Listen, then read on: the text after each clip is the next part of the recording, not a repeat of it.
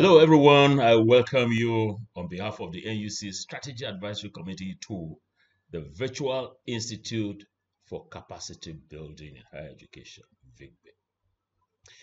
I like to put God first in all that I do. So I like to pray that God will be with us throughout this course. I'd like to thank God for keeping us since January to today. Today actually is August the 29th that's when I'm doing this, uh, presenting this lesson. In a few days, we're going to get into September, October, November, December. Well, God has kept us throughout from the beginning will not leave us, He will keep us decades beyond. I welcome you to Module 2. Module 1, we did Fundamentals of Quality Assurance, a big, if you like, umbrella concept.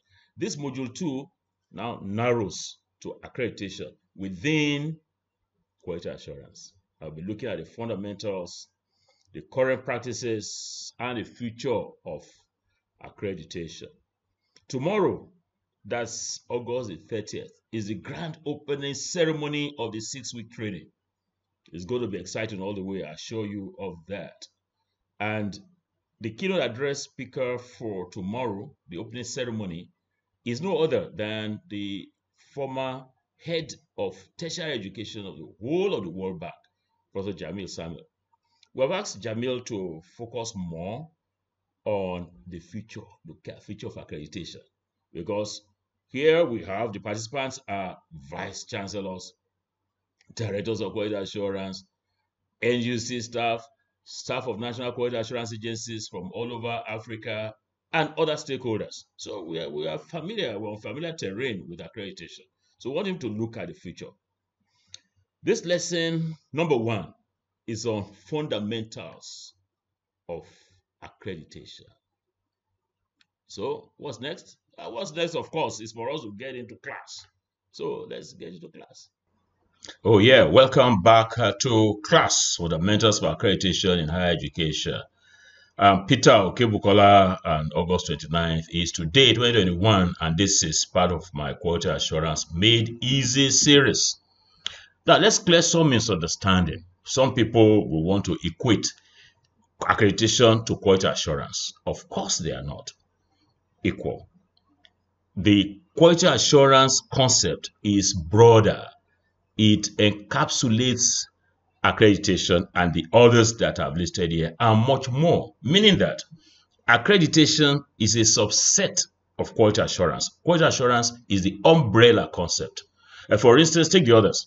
External examiner system. Now, you invite a professor from uh, a, a, university to come check out the question papers or how you marked your scripts. That is not accreditation.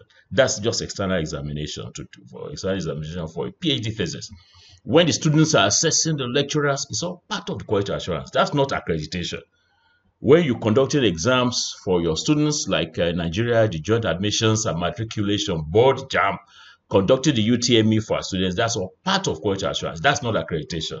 When somebody is being, uh, publications are being uh, assessed by expert, that's part of quality assurance. That's not accreditation. So let's get this uh, misunderstanding cleared as we begin. Now, let's imagine a world of a university or any higher education institution for that matter. Without accreditation, mediocrity will just take full swing. There'll be poorer quality graduates, the level of funding will depress, and of course, public trust will diminish. So it will be a world of uh, free for all, every man for himself, God for us all it is such a world that you have this kind of uh, teacher or lecturer or professor, uh, such world of lawlessness. In this course, nobody will get an A. A is for God, B is for me, C is for the serious students, and you can share the D's and the E's among yourselves. But you go to serious universities like Harvard, now how do you tell whether someone went to Harvard? Uh, you don't they will tell they will definitely tell you. They will definitely tell you. So here is a lady who went for an interview. And interviewer said it says here in your cv you went to harvard university. Oh me? Oh yeah. I was visiting my sister of course. I was not visiting my sister. I don't have any sister in harvard but i attended harvard. Uh, this is uh, my class in harvard. Now, what are the fundamentals that we'll be looking at in this lesson one? Now, these are the etymology and definition, purpose, and all these things that we can see on the screen. Now, let's begin. What are the fundamentals? So let's take etymology. That's the origin of the word. Now, uh, accredit coming from accreditation, uh, falsely Latinized in French, you know, French accrediteur. The word was there in English in the original sense, but became common in the meaning confer credit or authority on. Well, let's get on to the next one. That's definition. Now, I am not going to uh, spend these lessons, this series of lessons, uh, give you definitions of uh, others from outside Africa.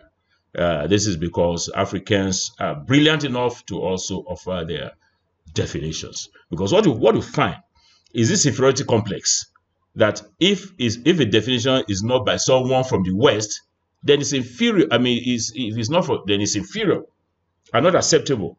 So my position is clear that we must shake off this inferiority complex. That's only the definition by someone from the West that is superior and acceptable. So what I'm going to do here is uh, populate the definition component with experts from voices from experts from Africa. And so what did I do? I surveyed you, the participants. You know, participants are vice chancellors. What uh, uh, what more expert do you need? Vice chancellors, directors of quality assurance, heads of national quality assurance agencies, and uh, members of NUC, staff of NUC, national quality assurance, and all of that. So I surveyed, and within a few minutes, what did I get? 258 of you responded to the survey. And the first question is uh, I said three quick questions demanding answers straight from the heart, no consultations from other sources.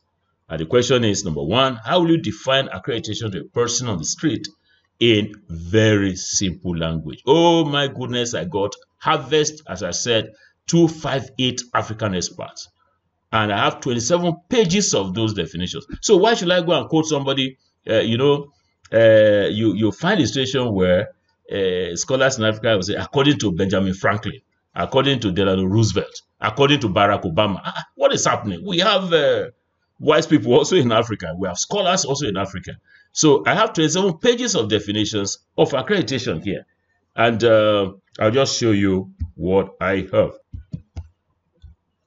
As you can see from this screen, I have 27 pages. Uh, see, I've arranged in alphabetical order, scholars, one and all, professors, vice chancellors, you can see what they are. And every definition that you see here is valid. And it's straight from the heart. So it's not copy work that according to so, and so. No, no, no. I'm going to quote according to Badejo, uh, this is what I have. So let me just give you a few highlights. Well, I like to uh, caution that the ones I have highlighted in yellow do not necessarily mean that they are the best, but they ref they, they reflect the common themes that are, we're seeing in here. But look at Abdul, uh, uh, Abdul Hamid Wow. Uh, the, the names are arranged in alphabetical order. So uh, Abi Lydia, professor, University of Calabar. It's a process of evaluating higher institutions to make sure they keep to and maintain required standards for conducive learning. Uh, all of these ones that I'm galloping through, they are all very correct. Akintoye Rufus Ishola, Professor Babcock University, an independent check on what you are doing and how you are doing it to ensure that you are doing it correctly, help you where you are weak, protect the interests of your consumers, your customers, increase your confidence in what you're doing and sell your and sell you properly to the world. Akukuma Veronica from University of Benin. Accreditation is an exercise or activity whereby the programs, the facilities, and the resources of institutions of higher learning are evaluated against quality standards set by the evaluating body. National Universities Commission is the evaluating body for Nigeria. You can see Aluede, uh, Amanam, Ruth, and De, Anyawu, Hioma, Arigbabu. Oh, yeah, let's talk, take a, uh, Professor Abayomi Arigbabu. He was Vice Chancellor of uh, maybe on leave of uh, Tai University of Education. He is currently the Honorable Commissioner for Education, Science and Technology of Ogun State University. You can see this man coming from being commissioner to come and learn here, to come and enroll for the course. What is uh, Professor Arigbabu say? He says it's a process or act of assessing the extent or level of compliance or adherence to established acceptable standards. The Sunday, uh, Samson Anyolaja is based in Botswana, ABM University, Gaborone, and he's saying the process of evaluating and assessing institutions against known standards of quality and quantity of infrastructure, facilities, and human resources so as to ascertain whether or not the institution, institution has capacity to produce skillful graduates. Babalola Chinedu, Vice Chancellor, this is Vice Chancellor of uh, Chrisland University. Accreditation means a recognized, and so on. You can see them. Badejo Adeji, uh, former Dean of Education. Accreditation is the process of Lagos State University of ascertaining that minimum standards are maintained in the teaching learning process in our university and other institutions and, and the rest of them. So all the ones that I have not highlighted, what you've said they are correct. Chukuma Grace, National Universities Commission. Uh, let's keep going. Fatokun Samson, uh, that's the chairman board of trustees of Samuel Adegboyega University.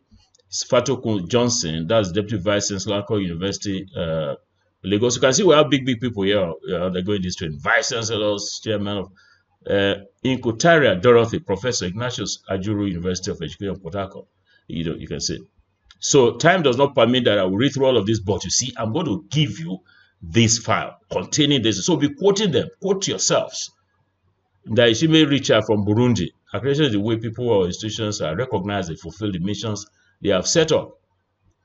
Obadaya Joshua, oh, good uh, chemist from uh, Ilorin, the same thing, all of you. So, Kibukola Folusho, oh, oh, oh, oh, that, that's it. That's uh, who that one be. Accreditation, that's my my madam. Accreditation is the process of evaluating the programs or activities of an organization towards the achievement of set goals. Okude, my dean, so you can see what what, what uh, we have there. Olarinde Elizabeth, that's Vice Chancellor of Abuad University. Where this place is populated by Vice Chancellors. So why should I be quoting outside Africa, outside, uh, you know, this period? There's the, the, the, the Phiri, uh, Dr. Phiri Ambumulire Phiri is the head of the National Council for Higher Education of Malawi. Look at what she's saying. It's a process of validating that the quality of education offered by higher institution can be trusted.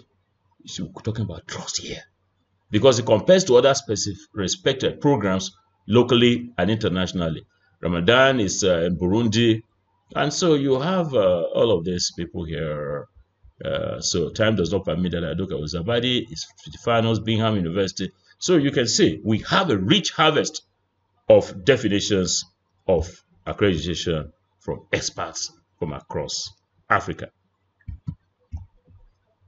I'm sure somebody is asking me, what about my own? Yes, I share my definition with you. I've defined accreditation as a process. As you can see, you all said process, process. Yes, there's actually also a product, part of it, whereby an institution or a program is subject to review by a competent body or organization the competent body can be National Quality Assurance Agency.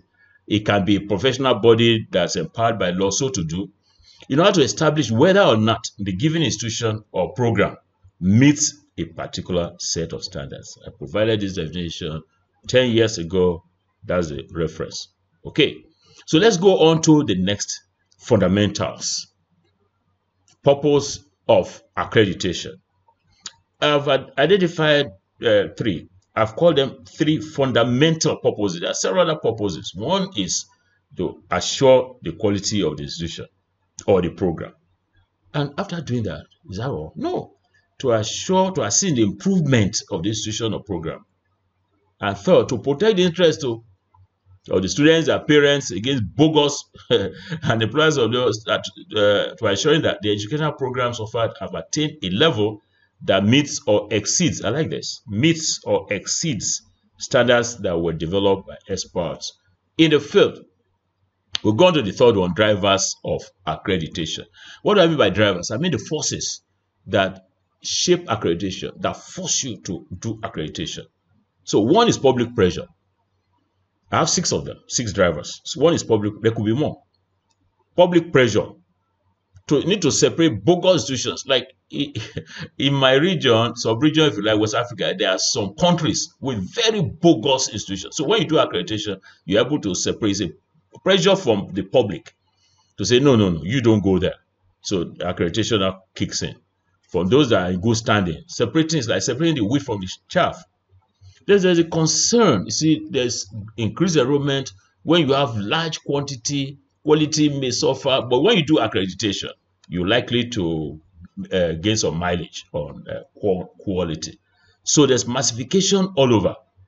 There's concern about the decline of academic standards in the face of increasing enrollment. So that's a driver for accreditation. The other is that uh, they believe that okay, uh, ivory tower, you you are it's your autonomy, you can self-regulate, but you can do its own. Not lie. Because stakeholders are saying, especially the businesses, professional bodies, they are losing confidence in the ability of the universities to self-regulate under the guise of student autonomy. So that's a driver for accreditation by a competent body. And then money is reducing you know, budget for education, education reduces. So it's pressure to, to, to be more efficient in producing quality, quality graduates. Five of six is accountability. So that is accountability and value for money. You are putting all this money into universities, to higher education. So let's have the value for money uh, from the heads to the universities. The last one is increasing competitiveness. As you will notice, from 2003, you have global ranking of universities and everybody is scrambling. You want to be able to do better than you did the last time the, the league table was published. So accreditation will be a stimulant, a driver to say, okay, let's do better so that we'll improve our ranking. Let's go on to next one for the fundamentals accreditation versus certification. What is the difference? Now, both terms overlap somehow, but differences exist. Let's take certification. Certification is a written assurance by a third party of the conformity of a product or process to specified requirements. So you get a certification for a product. You get you you uh, maybe for yeah a product in the in the university or in uh, in an in, a, in an industry. So certification for a product. But accreditation, on the other hand, is formal recognition by authorized authoritative body of the competence of the entire organization to attain specified standards. In effect, certification is a third-party endorsement of an organization's systems or products, while accreditation is an independent third party, also a third party endorsement of the certification. So you get certification. Ah, so let us let, let, let us accredit you as an organization that has certification. So certification you is commonly associated with ISO ISO 9001. These are internationally recognized standard for quality management systems. So last line here is that accreditation is generally considered to be a higher level of recognition than certification. In other words, you find certification bodies to hold some kind of accreditation. That you are a certification body, but you are also going to be uh, to be accredited. So people, we are moving. 10 items under fundamentals. We are number five. That's brief history. Hey, let's take a rest. People, let's take a rest. Let's go on a short break. And when we come back, we'll go on that history.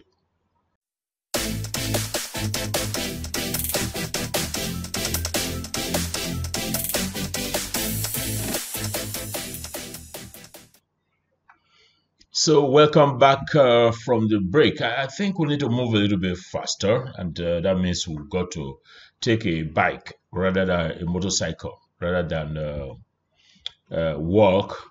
Uh, in Nigeria, we call those motorcycles, excuse me, Okada.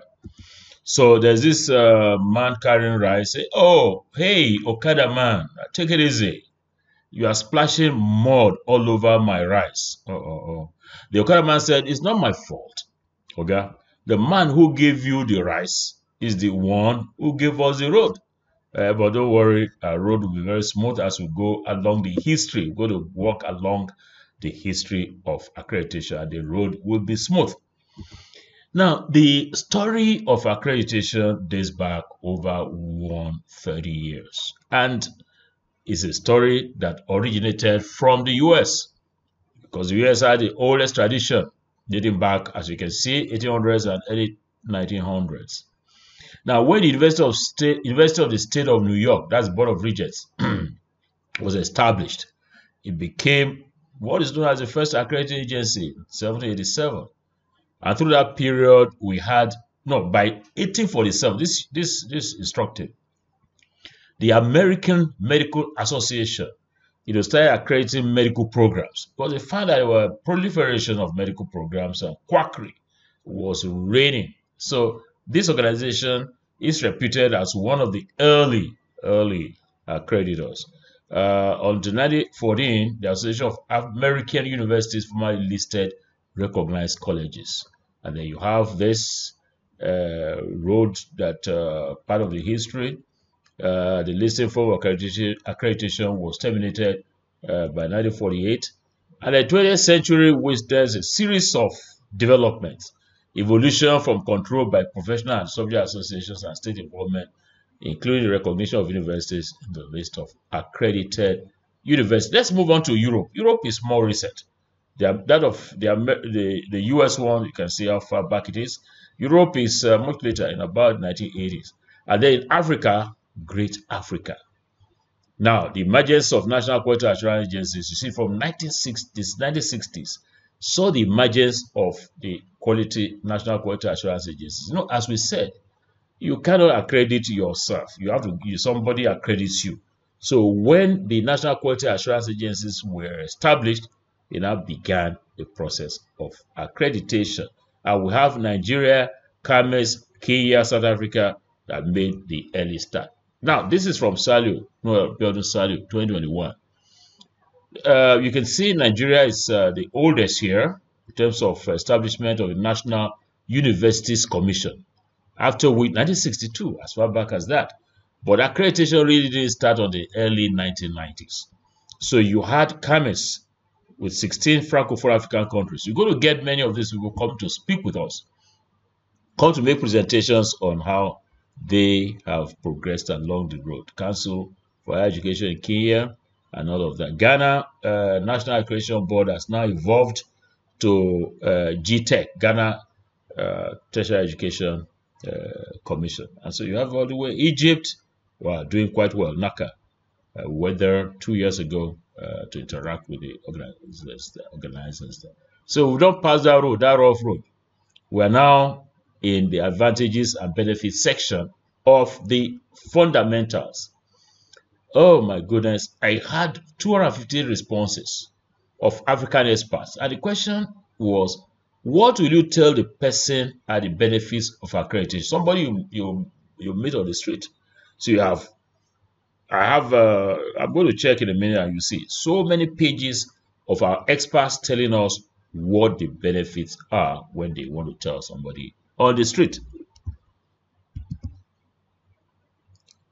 As you can see, I have 21 pages, 21 pages. Look, alphabetically listed, so you can see of the advantages or benefits of accreditation. This is very, very impressive. I, I, didn't make a mark of some of them though, but that's not to say that they are the best or the worst. I mean, uh, but let's see them. Some of those that are highlighted, not necessarily that they are, but they, they, they represent a group of others.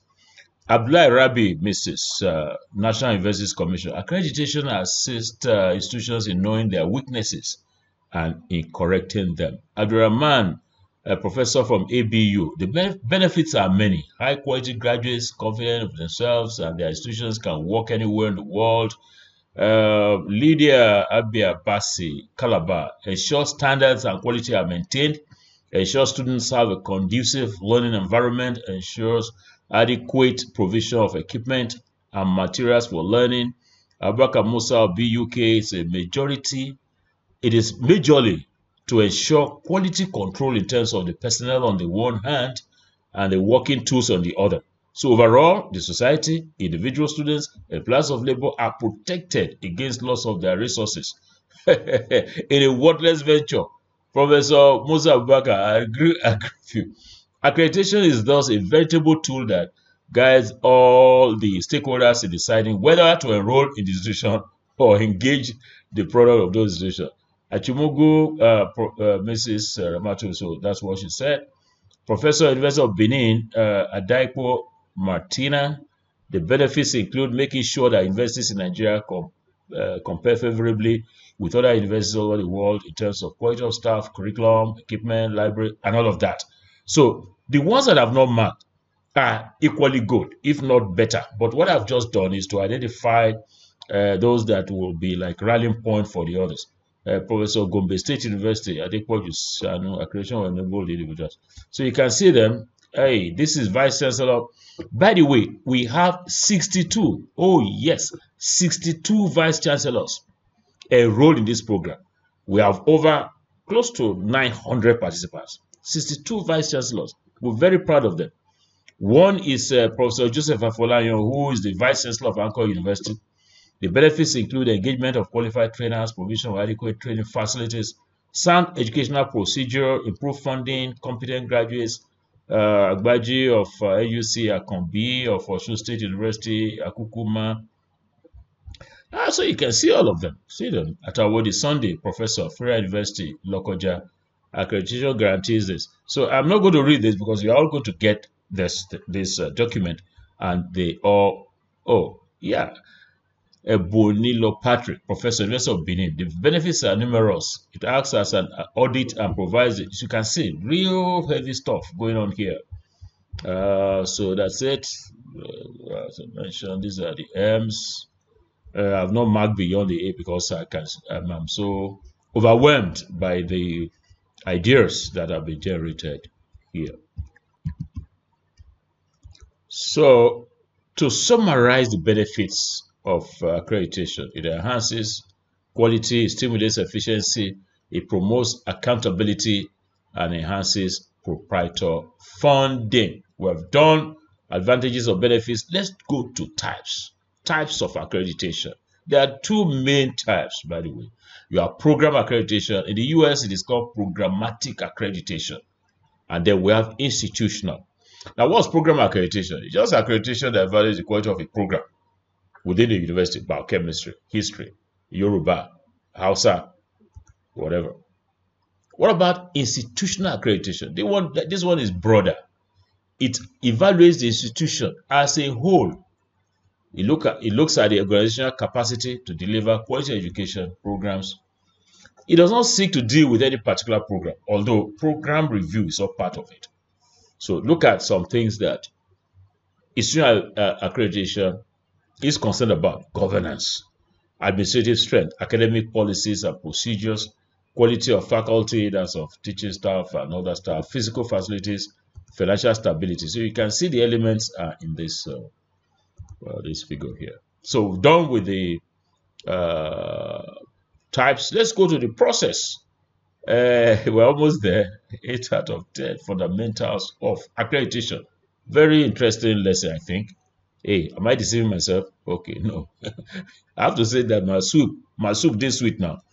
So the process. So I asked our experts. I didn't have to go anywhere because here, resident in Africa, resident in our universities are the best, best in the world.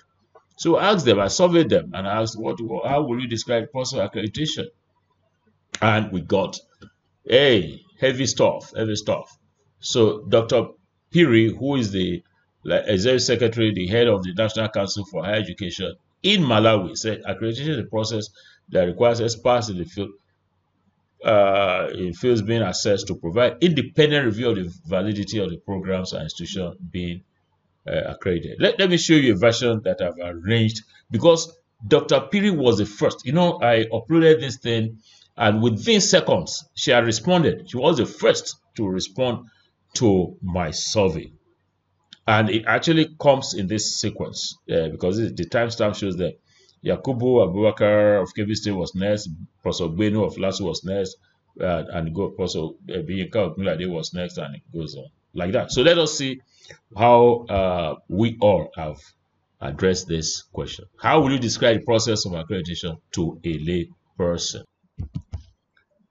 Let us uh, look at uh, some of the the process, the, the description of uh, our experts. So, by the way, let me tell all those 258 people that have contributed, you already have 20 marks in your bag. 20 marks for the because all of them uh, uh, responded to the three questions 20 marks. I'm going to uh, inform the examination committee, you know, to uh, give each person here 20 marks. So let's, uh, those of you did not, when next we call for contribution, uh, we hope you will uh, make some effort. So Abdulhamid Awa, professor, Federal University, uh, Federal University, Kashere. Accreditation is a process where experts are selected to visit the institution, hosting the program to be accredited. The experts will be given an instrument to be used for assessing the program. The experts will inspect all the available facilities for the program and ascertain availability, adequacy, and functionality in relation to the number of students in the program, and all of that. You can't beat it. You can't beat this one. Professor Ambali Saka Abdul Karim, Federal University, Minna. Self-assessment of the program by the institution, yes. Application for accreditation of the program, yes. Preparation and review of the program documents by the institution, yes. On-site assessment of the program by the accredited accreditation body. Submission of the assessment report, decision by the accredited. Fantastic, fantastic. All the others that I have not uh, highlighted, they have also written very good uh, description of the process. Adaipo, uh, Professor Martina Adaipo of University of Benin, that a team of top members of the academia with expertise in different subject areas are sent to the department in the areas of expertise, correct? In different universities once every two years to check whether or not the university still meets the minimum criteria to standards. Scoring is done against the template, BMAS, required to offer a degree. This part of the training you're going to get, how you do the scoring a Nigeria University. Department can get partial or full accreditation based on the overall score. If partial accreditation, you can see experience all the way. Here to the same, all of the BC the same, all of this. So let's uh, keep going. I just highlighted a few. Hey, this is by Ande Jane, Professor, University of Jos. Accreditation is a peer review process. Let me see, highlight this, yes uh, Biba stated for this, a panel is usually made up of minimum three senior academics, preferably professors in that discipline who are not members of staff of the same institution, and one National University Universities Commission staff who serves as representative. This is very good, very detailed. This is the process. Me, I can't do any better. I'm telling you. Anyway, we are learning together uh, in this uh, in, in, in this course. So let's keep going. Uh, they have all written wonderful things. Let's see. Let's see Ebonilo or Patrick, professor, University of Benin. I, I like this one, like the others do. The process of accreditation is mentally and physically very challenging. Mentally, the NUC team must work as detectives to uncover truthful information as a self-study guide usually provides false information. Hey, now they hear that now, which is true in some cases, and exaggerated data. The department, despite assurances to the contrary, usually do not view the AC team as partners, but as adversaries. Adversaries. So they lie and try to cheat. They see the accreditation exercise as a do or die affair. Physically, due to a large number of students, the physical facilities like the central library, workshop, classrooms, and laboratories are usually not co-located. They must be visited, inspected, assessed, and data provided about them confirmed. There's a lot of trekking is usually involved. I can see some of you as uh, uh, uh, panel members already laughing and say, "Oh yes, you agree with Professor Patrick uh, Bonillo."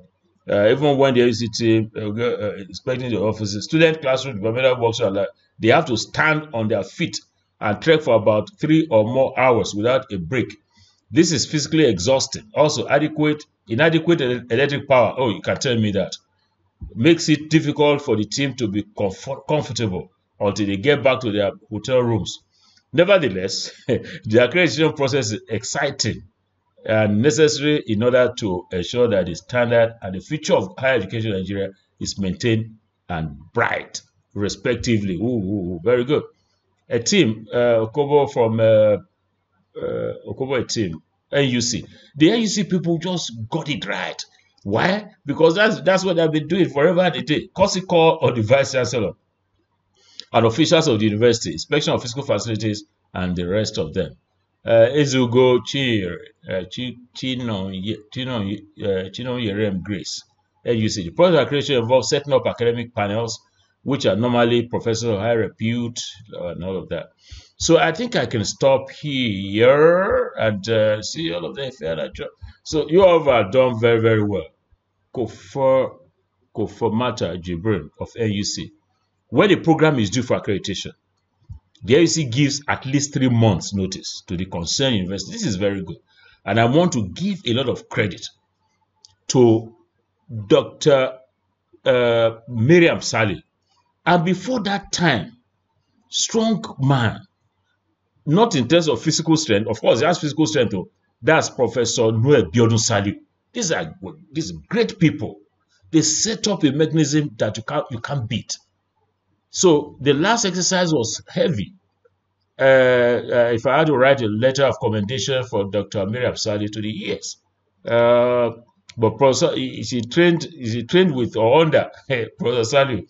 So when the program is due for accreditation, NUC gives at least three months notice to the concerned university of an accreditation visit to the program. This, thank you, uh, uh, Mr. Kofo Mata, Kofar Mata. Uh, discipline or subdiscipline. A self-study form will be sent to the university for completion. I, I really like this, as I said, like the others, but this is very comprehensive.